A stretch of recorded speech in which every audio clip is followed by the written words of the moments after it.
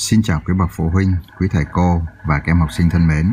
Chúng ta lại tiếp tục gặp nhau trong tiết số 2, bài 12. Tổng các góc trong một tam giác. Sách giáo khoa môn toán lớp 7, bộ sách Kết nối tri thức với cuộc sống. Trên kênh của chúng mình thì ba bộ sách thầy đều đã làm rất là đầy đủ, rất là chi tiết. Hãy tìm theo bài, theo trang và theo chương để chúng ta cùng học các em nhé. Bây giờ thì mời các em mở sách của chúng mình ra trang số 62 nào. Rồi, như vậy thì chúng mình sẽ đến với cái phần bài tập này. Bài mấy đây? 4.1 nào. 4.1 Yêu cầu gì? Tính số đo x, y, z trong cái hình 4.6 À như vậy 4.6 thì cho mình này, hình thứ nhất, hình thứ hai, hình thứ ba. Hình thứ nhất mình tính góc x này, thứ hai tính góc y và hình thứ ba là tính góc gì? Góc z. Được chưa? Vậy thì đây là bài toán của lớp mấy? Lớp 1, lớp 2 thôi đúng không các em? Bởi vì sao? Ta cho rồi nè.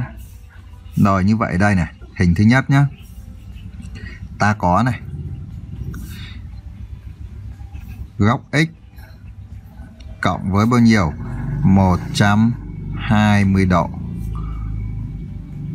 cộng với 3 35 độ thì bằng bao nhiêu? 180 độ. Ở đâu có cái này các em? À đây chính là gì? Theo định lý đúng không? Tổng số đo của ba ba góc trong một tam giác thì bằng bao nhiêu? 180 độ. Đấy, thầy sẽ ghi như này các em tự ghi nhá. Rồi. Vậy thì từ đây mình sẽ suy ra được cái gì? x này sẽ bằng bao nhiêu? 180 trừ 120 mà kem cộng với 35 thì có phải thằng này là bao nhiêu? 155 không? Rồi, vậy thì đây chúng ta chưa cần trừ nè.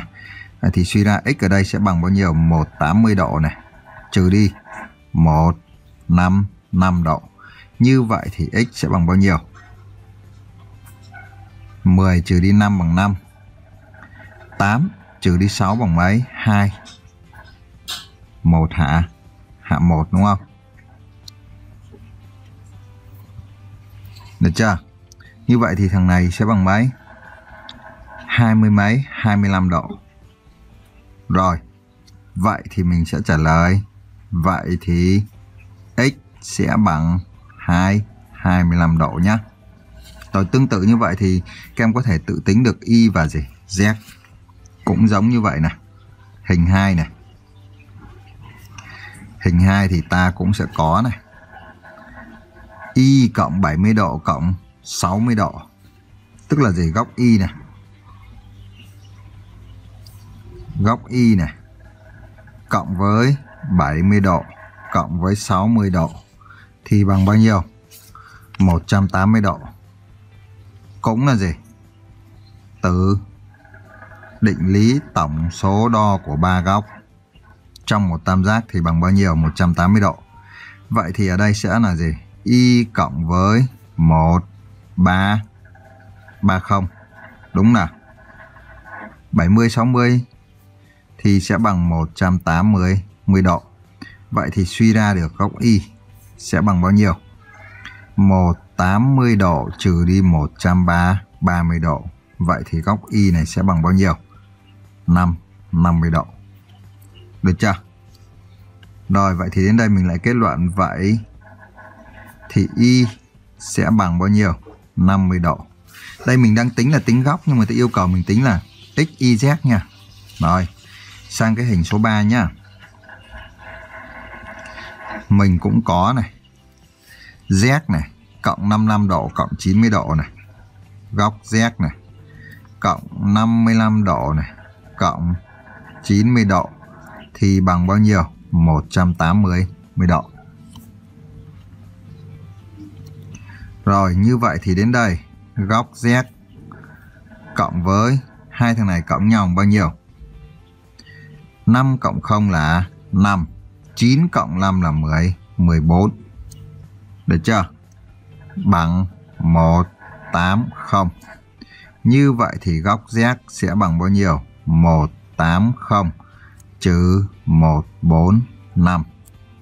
Vậy thì góc Z sẽ bằng bao nhiêu? 10 trừ 5 bằng 5. 8 trừ đi 5 bằng mấy? 4. 1 trừ 1 hết, như vậy bằng bao nhiêu? À, xin xin.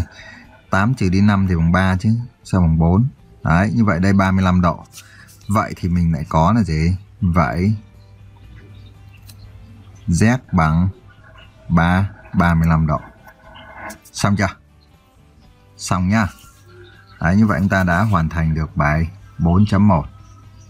Sang bài tiếp theo. Bài 4.2. Người ta yêu cầu cái gì đây? Trong các tam giác ở cái hình 4.7 tức là ba tam giác đây. Tam giác nào là tam giác nhọn, tam giác nào là vuông và tam giác nào là tủ. À như vậy thì các em nhìn vào đây này, chúng ta cũng có thể nhận dạng được ngay. Đúng không? Tam giác nhọn là tam giác có ba góc, đều là góc gì? Đều là góc nhọn. Đúng không? Tam giác vuông tức là gì? Nó phải có một góc vuông, và tam giác tù thì nó phải có một góc làm sao? Lớn hơn 90 độ. Đúng không? Đấy. Như vậy thì ở đây mình chỉ cần dựa vào những cái dấu hiệu đó thì giờ chúng ta sẽ xét này. Bài 4.2 này. Giờ ta gọi tên hình đi nhá. Hình 1 này. Đó, chứ mình không có ghi hình mấy này nó cũng khó đúng không nào? Hình 1. Ta có Giờ các em cứ cộng tổng thôi. Góc A cộng góc B cộng với góc gì? Góc C này. Góc A cộng cho góc B cộng cho góc C bằng bao nhiêu? 180 độ. Đây là định lý gì? Tổng 3 góc. Tổng số đo ba góc trong một tam giác thì bằng bao nhiêu? 180 độ. Được chưa? Bây giờ mình thay này, có A có có C rồi nè. Vậy thì đây sẽ là A là bao nhiêu? 50 độ cộng với góc B này cộng với góc C là cho bao nhiêu? 40 độ. Đấy. Bằng 180 10 độ. Vậy thì từ đây mình sẽ suy ra được góc B sẽ bằng bao nhiêu? 180 độ trừ 50 độ trừ đi 40 10 độ. Đúng không? Đấy. Vậy thì góc B sẽ bằng bao nhiêu?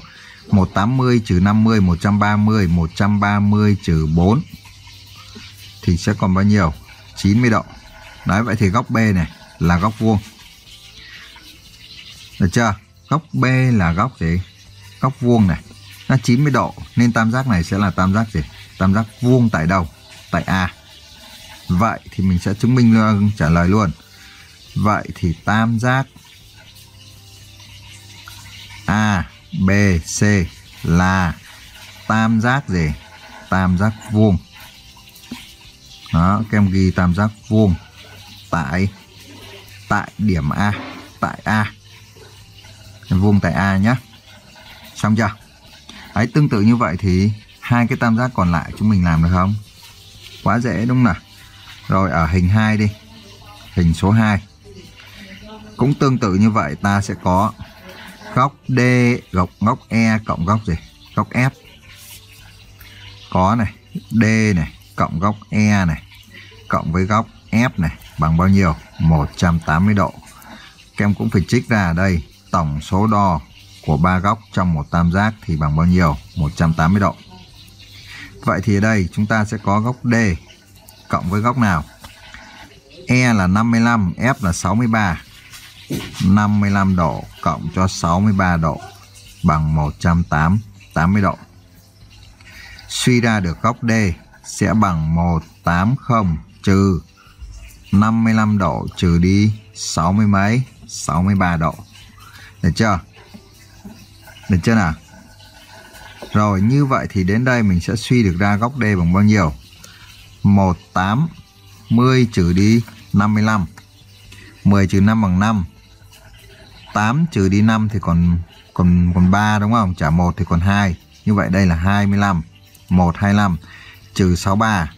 5 trừ 3 bằng 2, 12 trừ đi 6 bằng 6. Không. Như vậy bằng nhiều? 60 mấy? 62 độ nha. Rồi. Vậy thì cái tam giác này này có ba góc, góc này 62 độ nữa này. Ba góc này đều làm sao? Nhỏ hơn 90 độ cả. Nên tam giác này là tam giác gì? Tam giác nhọn. đấy mình kết luận ngay vậy thì tam giác tên của nó DE F D E F là tam giác nhọn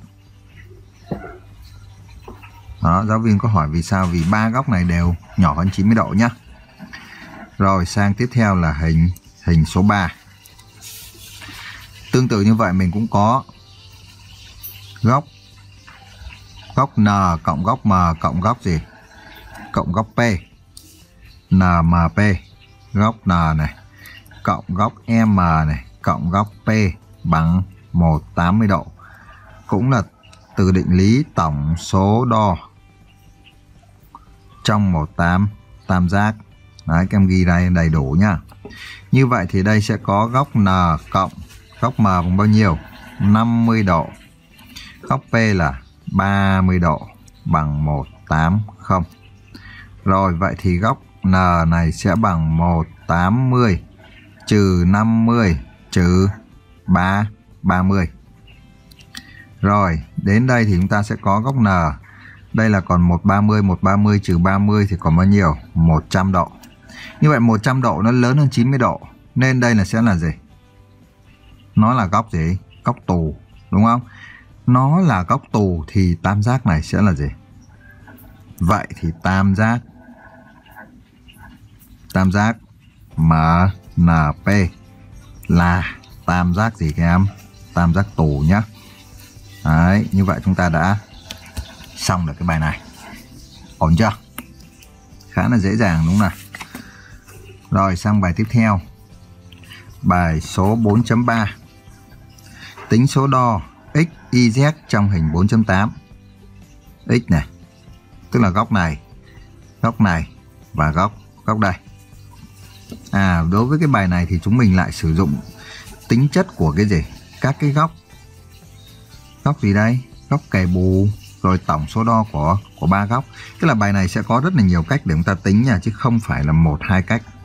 4.3 đến đâu thì thầy sẽ hướng dẫn này bây giờ mình sẽ nhìn ở đây nè. Nhìn ở đây chúng ta sẽ tính được cái góc nào nhanh nhất này góc z này, này. À, nếu mà tính góc z là nhanh nhất này. Z là nhanh nhất này. Z mấy thằng gì? Cái góc này này. Đây là hai góc gì đây? Hai góc gì?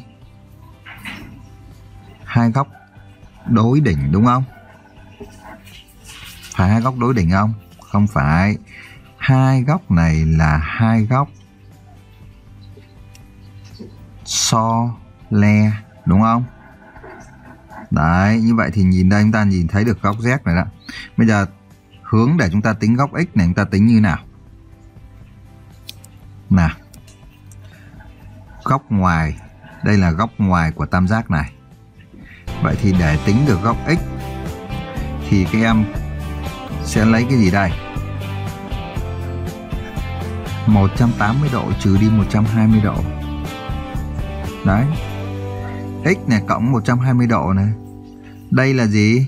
X với góc này là hai góc kề kề bù. Được chưa? Hiểu chưa nào? Hãy tính được góc này rồi thì mình áp dụng tổng số đo của ba góc trong tam giác này thì sẽ tính được góc y đúng không? Rồi chúng ta làm từ từ nhé. Ta có này. Ta có này, x này, góc x này cộng với 120 độ đây này.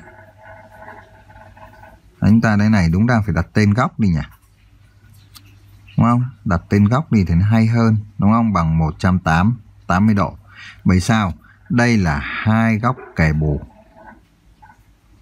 hai góc kề kề bù. Tức là góc này với góc này này các em. Đó.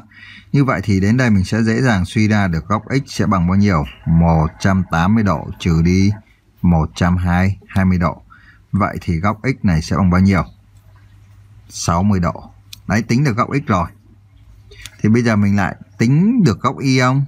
Góc này 60 góc này 80 thì tổng ba góc trong một tam giác. Đấy, mình lại tiếp tục này. Xét cái tam giác xét tam giác, tên tam giác này này a, b, c. A, b, c. Ta có. Ta có gì? Góc a cộng góc b cộng góc gì? Góc C. Góc A này cộng góc B cộng với góc góc C bằng bao nhiêu? 180 độ. Đây là tổng số đo. Tổng số đo trong một tam giác thì bằng bao nhiêu? 180 độ nhá rồi bây giờ các em thay về thôi. Góc A ta cho rồi, góc B là góc X mình vừa tính. Góc A là 80 độ.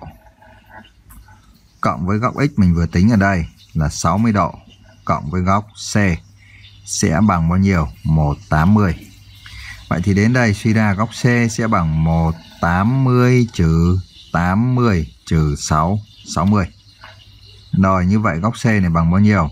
100 trừ 60 thì sẽ còn bao nhiêu? 40 độ. Đấy, Như vậy đến đây các em tính được góc này rồi. Là góc Y. Được chưa? Được chưa nào? Đó, vậy thì Ở đây góc C này này, Chính là góc Y, đúng không? Đó, như vậy thì À đến đây chúng ta ghi cái kết luận này nhá. Vậy. Vậy thì x ở đây sẽ bằng bao nhiêu? 60 độ này. C này chính là Y, đúng không? Thì đến đây chúng ta kết luận này Vậy thì Y bằng bao nhiêu? 40 độ. Đấy các em ghi cho thầy cho nó chắc chắn. Rồi chưa? Rồi. Bây giờ mình tính cái góc gì? Góc Z này. Góc Z chúng ta có nhiều hướng để chúng ta tính nhé. Như vậy đây này chúng ta có thể thấy này. D này, C này.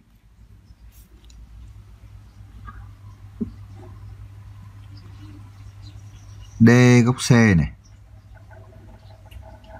DCE thì sẽ bằng góc nào? Tức là góc này này. Góc này sẽ bằng góc này, đúng không? Đây là hai góc gì? Đối đỉnh. Đúng không? Phải không?